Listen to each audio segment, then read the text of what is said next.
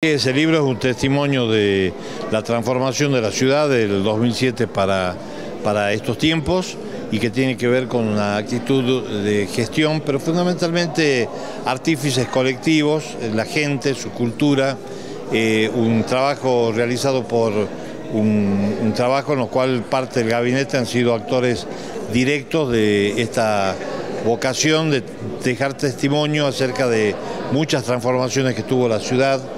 y hacemos alusión también a su cultura, a todos aquellos que aportaron desde otras visiones, más allá de lo arquitectónico urbanístico, a hacer más grande a San Salvador de Jujuy. Nosotros entendemos que nuestro desafío y nuestra razón de ser en la ciudad tiene que ver con un cambio de paradigma para que esta sea una ciudad más amigable, más inclusiva, más utilizable por todos los vecinos con una forma de entender el espacio público fundamentalmente como la gran posibilidad para buscar esa interrelación que creo que hace más eh, vivible, más turísticamente adaptable a una ciudad como la nuestra.